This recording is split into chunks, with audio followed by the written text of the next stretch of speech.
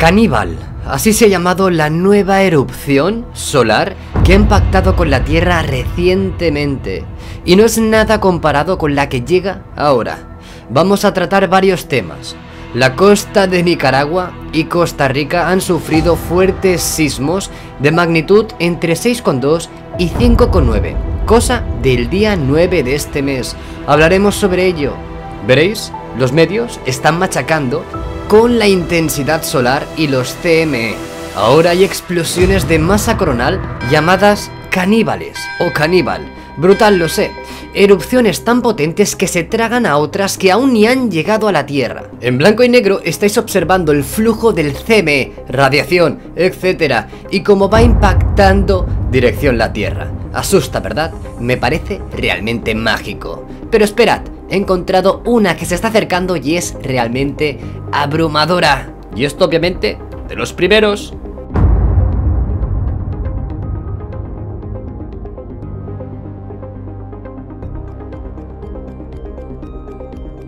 Cosas importantes, qué ha ocurrido y qué puede ocurrir dentro de muy poco. Bien, vayamos a los titulares explosivos, ¿no? Caníbal, la tormenta solar que se viene encima, que ya ha venido, que ha pasado, apagones, caídas en la red y un ambiente apocalíptico. Ojo, señores, están diciendo lo del tema del apagón. Creo que hay subterfugios, intereses económicos, sobre todo creación de nuevos lobbies. Está claro, pero si ocurre algo, estoy convencido que viene de arriba, del sol, algo que no puedan controlar. Bla bla bla bla bla bla, porque siempre les encanta meternos escenarios apocalípticos, ¿no? Pero en definitiva, dice Caníbal, como la han denominado, ¿no? Es mucho más grande que la tormenta que tuvo lugar en Halloween, que puede afectar a la red eléctrica, repito, están machacándonos con el tema de los apagones. Ojo, señores, ojo. Y traer auroras boreales tan al sur como en Pensilvania. Es el principio de todo lo que nos viene encima. Ojo, ¿eh? La Agencia Espacial Estadounidense NASA, vaya tú por dónde, y la Agencia Meteorológica, la NOAA, han alertado, no alerto yo, alertan ellos, de que una fuerte erupción solar que fue detectada a principios de esta semana, que ahora vamos a mostrar, podría afectar tanto la navegación con GPS como el funcionamiento de satélites de comunicación en los próximos días. Siguiente, una eyección solar caníbal provoca una fuerte tormenta geomagnética en la Tierra. Ojito, volvemos a lo más interesante, ¿no? Que es qué ocurrirá, apagones eléctricos. Pero vayámonos a esta sección de aquí, ¿no? También estás observando el tema de las auroras boreales Que son increíbles. Os puedo mostrar incluso que han aparecido unas gigantes. Pero bueno, dice, NOAA ha emitido una alerta Informando de los impactos potenciales de las tormentas geomagnéticas G3 Máximo G5 Pero bueno, esta que ha sido la que ya ha pasado es una G3 Que es grave especialmente en las regiones en latitudes superiores a los 50 grados norte. Estas son, ojo, corrientes inducidas. Es posible que se produzcan irregularidades en el voltaje del sistema de alimentación, cortes de energía. Se pueden activar falsas alarmas en algunos dispositivos de protección.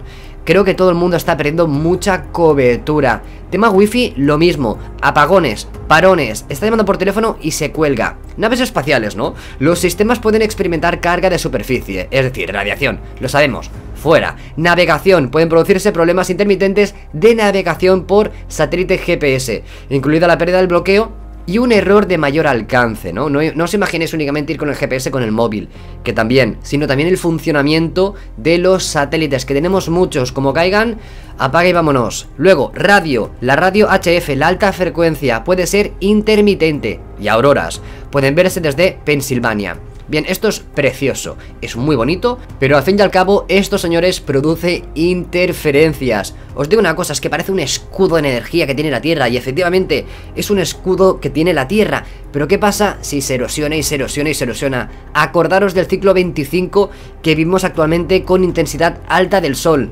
No es que sea un especialista, es que nos están machacando con esto R que R, y estamos sumándole el tema del apagón. Creo que va relacionado por aquí. Vayamos a lo más interesante, donde yo me he quedado patidifuso, ¿no? Estáis viendo la herramienta Soho, todos podéis acceder. Os pongo histórico del día 7. Hoy es día 10, el día de la grabación de este vídeo, y me dan histórico hasta el 9. Me falta histórico, pero es alucinante. Fijaros, aquí veremos la nueva, ¿no? Fijaros la parte derecha que es la que nos interesa que se va a dirección a la Tierra. Mirad, eh, al día 9, ahora... Patapam. ¿Lo acabáis de ver? Tiro para atrás, que es más espectacular. Ahí, ahí lo tenía. Paro y lo hago frame a frame, fijaros.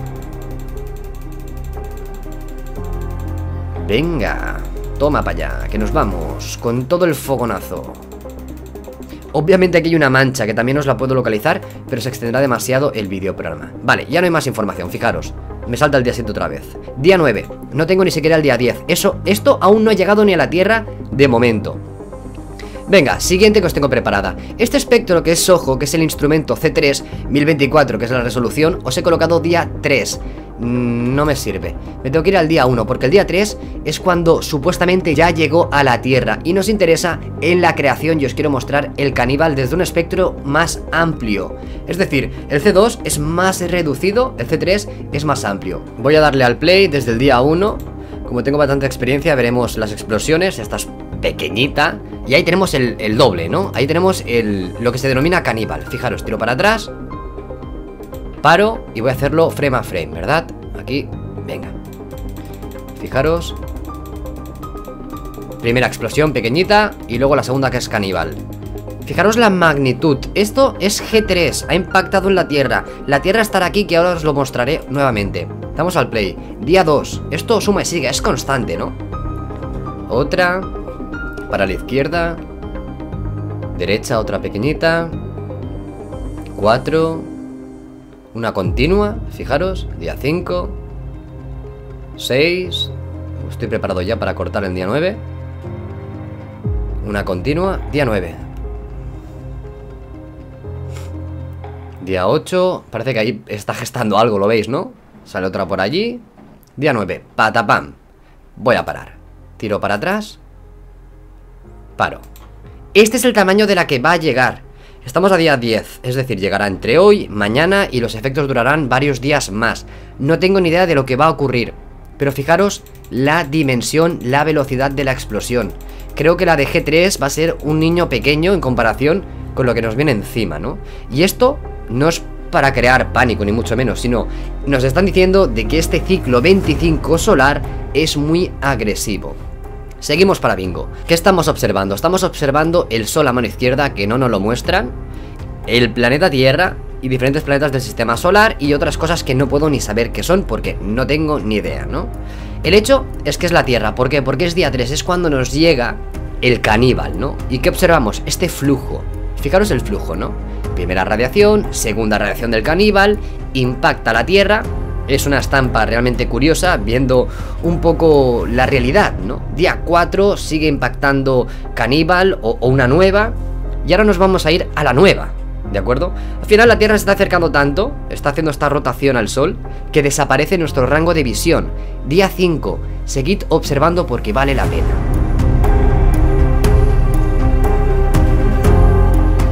Ahí lo tenemos, ahí lo tenemos, día 8 Suma, suma y sigue Stop Tiro, creo que puedo tirar para atrás. Fijaros, día 3, día 4 Llega Caníbal, día 4 Tenemos unos efectos. Lo voy a parar, cosa del día 7 Que es cuando empieza la nueva, la grande La que de momento no hay información en ningún lado. Esto es eh, investigación y estar encima. Stop, paro.